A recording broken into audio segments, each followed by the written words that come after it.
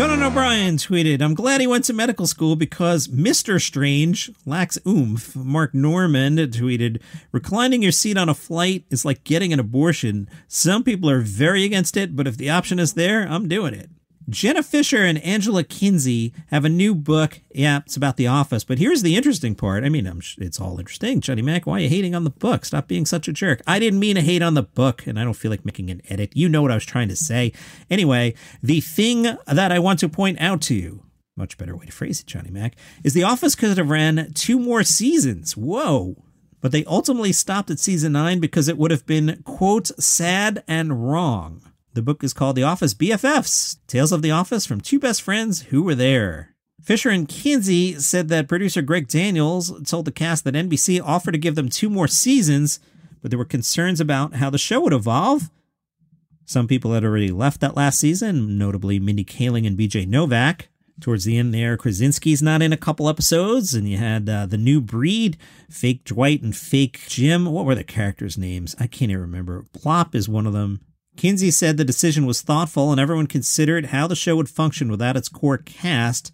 Fischer said, I mean, the idea of slowly kind of losing people, it just felt like, I don't know, it just felt sad and wrong. Kinsey added, it felt wrong, it felt wrong, and it would just ruin the office world to slowly make up excuses of why people were leaving.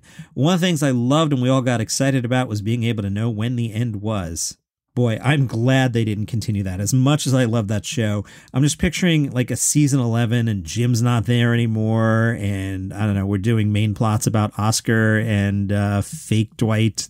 Yeah, that could have been really bad.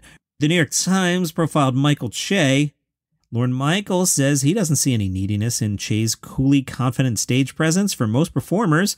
Lorne Michaels explained it's all about being loved or wanted, and he doesn't seem terribly interested in that. If he believes in a joke, he's doing it, and he'll acknowledge the audience's response, but you don't get the sense that he's not going to sleep that night. Colin Jost said that working with Che on Weekend Update took a while for us to figure it out individually and together, and that's why it's satisfying now to be out there and get to enjoy it after years where it felt like a struggle. Che's thing was always that he didn't want to tell a joke that someone else could tell. Even a random joke at the end of Update that anybody could technically tell, he finds a way to do it that's unique to him. Che said, I constantly think my career's over after a bad set or a bad update. You always think, this is it. At any moment, I'll be found out. Che also does not expect to give up his habit of using social media to antagonize journalists who have criticized him or he feels have misrepresented him or his friends. Che said, I have not turned over a new leaf. There's a power that I think writers know they have, though they won't admit they have in making perception a reality. I just like to make fun of that. It's like, I see you, you see me. Now, yesterday I mentioned Che was joking about leaving SNL or maybe not leaving SNL. He has played those remarks off as a joke. Who doesn't say they're going to quit their job when they're at their other job? I'm sure Biden says that twice a week. My head's been at leaving for the past five years. He added, I do think I've been here longer than I'll be here. The show's built for younger voices, and at some point there'll be someone more exciting to watch at the halfway mark of the show than me and Dumb Jost. Lorne Michaels, and I think this is the part that really matters, Lorne Michaels said, If I had my way, he'll be here. And I don't always get my way, but when you have someone who's the real thing, you want to hold on as long as you can. I think he'll be back. Hassan Minhaj played Buffalo. Uh, this was prior to the shootings. He made some jokes about the Confederacy. The Confederacy was a bunch of losers. The Confederacy only lasted four years and three months. Jersey Shore lasted six seasons. David Cross spoke to WABE about his upcoming new show, Guru Nation. It's going to be a limited series, as it was intended to be. And Bob Odenkirk, you know, we talked about this format that we really haven't done before, which is telling a story, beginning, middle, and end. It ends. That's it. We're not going to try to extend it for numerous series. It's a story. It's really basically about the cult leaders and gurus and cultural personality type of folks. Some a little bit more in evil and duplicitous than others, some not. It's told through the two kind of straight characters they ping pong across these various cults and these leaders, focusing on the two of them, one played by Bob Odenkirk, one played by myself. And although we also do multiple characters in the story, it'll be more grounded than a typical sketch. We're working on making it feel real and not being overtly judgmental. The question we want to acknowledge is it doesn't matter what language you speak, whatever you're born in, and what gender you are, it doesn't matter. You can get taken in by a con man, whether it's religious based or science based or whatever it is, or some amalgamation of all of them. From page six, Pete Davidson fans have taken issue with Kim Kardashian for telling him to remove a hat. This happened when they were shooting behind the scenes footage of their time prepping for the 2022 Met Gala. In a clip uploaded to the Kardashian social Instagram page, Kim Kardashian is seen telling poor Pete Davidson, Take the double hat off. He wore a purple cat over a navy one with white writing. Poor Pete said, I didn't know where to put my hat. Kim gestures to her assistant. She'll hold it just in case, because if it works and we want to use this somewhere, just if I want to post any behind the scenes. Oh, how genuine all this is. Pete Davidson said, Oh, you don't want me to have a double hat? I appreciate that. Thank you. Kim, I'm just looking out for you. Pete, no, it's cool. And then he handed over the hat and said, Thank you, man. This hat caused a lot of trouble.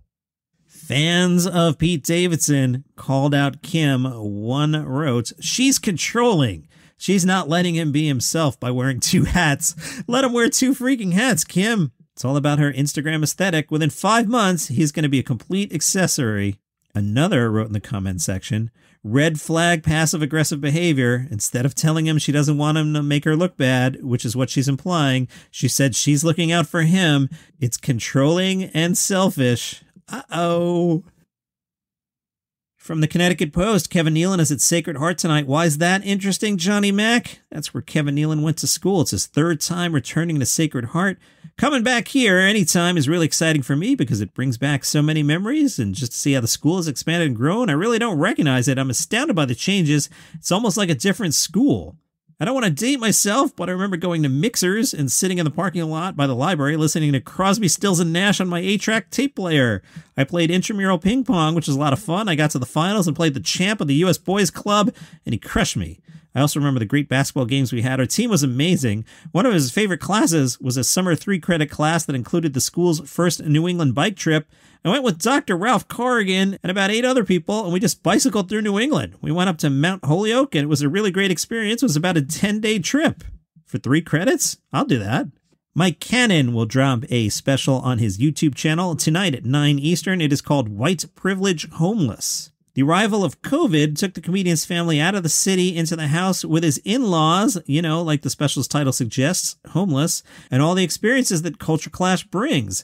Cannon filmed the special at the Triad Theater in New York City earlier this year. He also talks about the fallacy of coffee consumption and the ambiguity of marijuana legalization in New York. Cannon said, I'm extremely excited for people to watch my new special on YouTube. It's free, it's easy to find, and if you don't like it, you can always switch over to a flat earth documentary. White Privilege Homeless, tonight on your YouTube.